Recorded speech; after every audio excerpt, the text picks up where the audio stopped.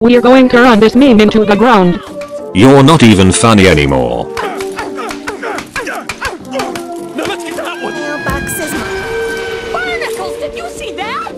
That's a meme that hasn't been abused. Let's kill IT.